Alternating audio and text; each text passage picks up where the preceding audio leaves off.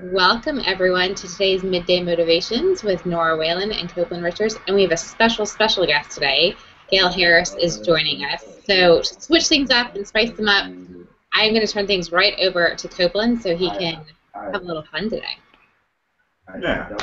So I understand that you know there's a lot of times where some people may be teaching, some people may be learning. Today I want to learn.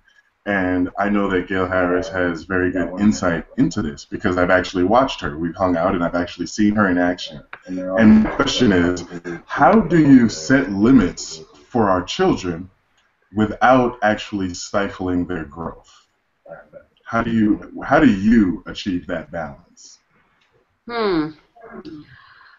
I can't say that I have a clear answer of how to do that right away. I think I just go with my gut with what's needed in the moment. But this little incident that just happened right before is um, we limit my son Lucas's screen time.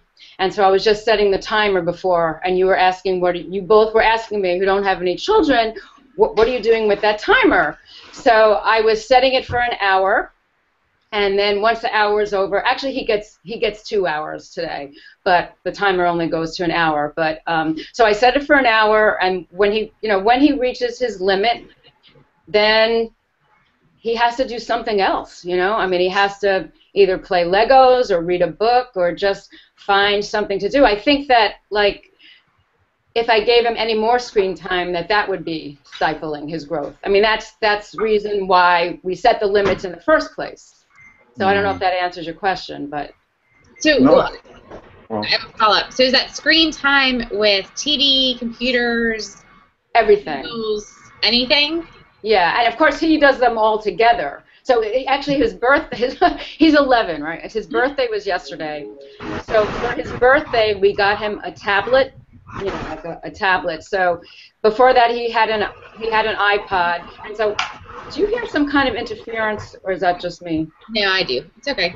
Oh, okay. So anyway, um, know, he'll watch, he'll do them all at the same time. Like he'll have the TV on and his tablet going, and I mean that's like massive screen coming in. I, I don't know if any of either of you have heard of the children's singer Raffi, because he was probably a little bit before your time, and I'm older than you guys. But um, he's been a children's singer that's been around for a really long time. Raffi, like a children's singer, and um, you know, we have all his albums in the house and stuff. And he recently just wrote this book about um, the internet, and it's um, oh gosh, I can't remember the name of it, but it's all about setting setting screen time limits for your kids. And I read this book, and it was amazing about just oh, it was it's called light web light web dark web.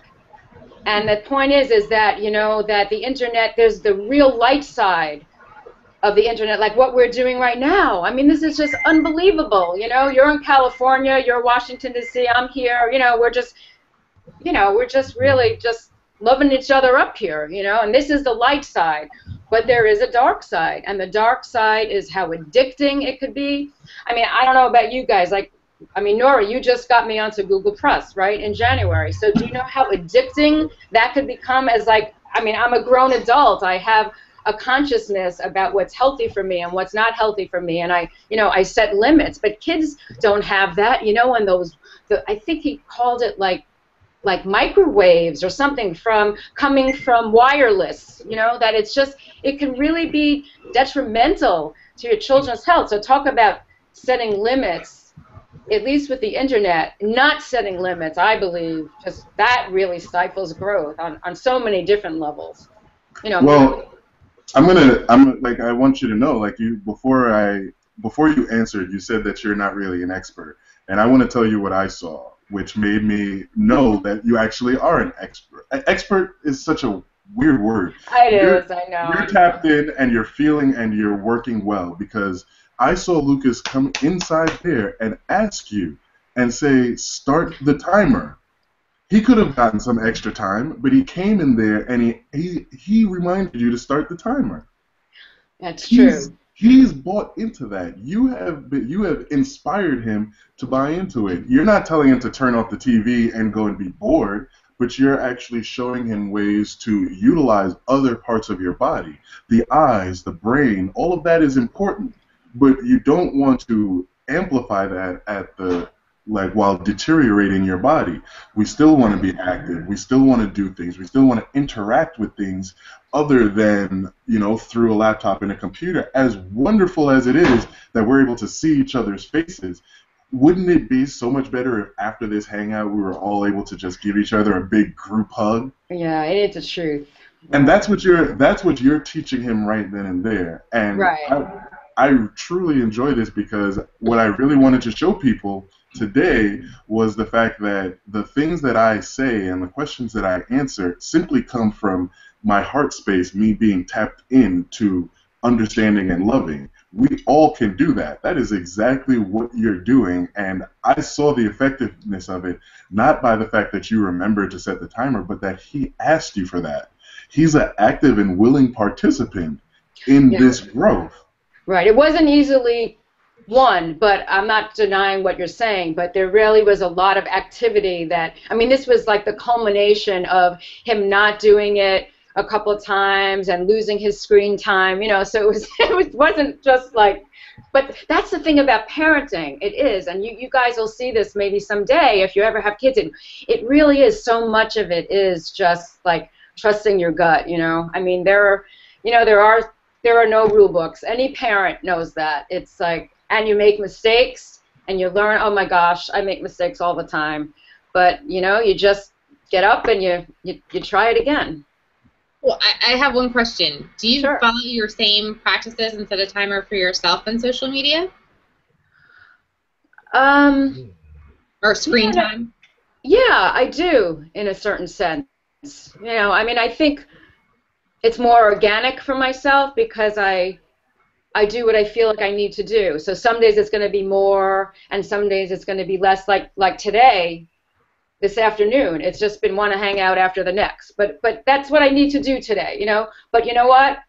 There's an HOA that's going to be on tomorrow on Saturday, and I sort of made this a rule. Like I'm not I'm not doing HOAs on the weekend. So I am you know I am setting certain boundaries, and I don't spend as much time at all on the internet during the weekend. So I I guess what I'm trying to say to you is that I don't feel like, no, this is it. I guess I don't feel like I need rules for myself because I'm just like I'm past that point. I think children need rules because they they they're children. They need those rules, but eventually I think it just comes down to knowing what you need in each moment. You know what I'm saying? It's a decision every minute, you know, okay, I need to stay on this hangout a little bit longer. Okay, do I need to continue? Do I need to get off? What do I need to do next? And it's I try to live like that is like like being present in the moment and choosing according to what I feel I need to do. You know, tapping into my intuition and my mind and using it all together. And if you live like that, in a way you don't need rules. Does that does that make sense? It absolutely does. Absolutely you learn the you learn the rules and the fundamentals of an art. That way, when you have that ingrained, you transcend it, and then you can break them artfully within the art. Exactly. Like kids need rules, but hopefully after a while, they won't need them anymore. They'll just be able to make those choices for themselves. I mean, I I think I've, you know, knock on wood, gotten to the point in my life now where I, I think I have a clue. I think I kind of know what I'm doing, you know. Not that I don't make mistakes all the time or have disappointments or whatever they are, but what do you got to do? Okay, I got to, like, I fell off the horse. I got to get back on and, and keep going, you know. Maybe there's a day when I need to hang out in bed all day, you know, I, whatever it is, you know, I try to really connect in with what do I need to do right now? Not what I want. I'm not talking about what I want, but what do I really need? You know, there's such a big difference between wants and needs. And when they come together, you know, then when what you really need becomes what you want, I think that you really come to a very special place in life.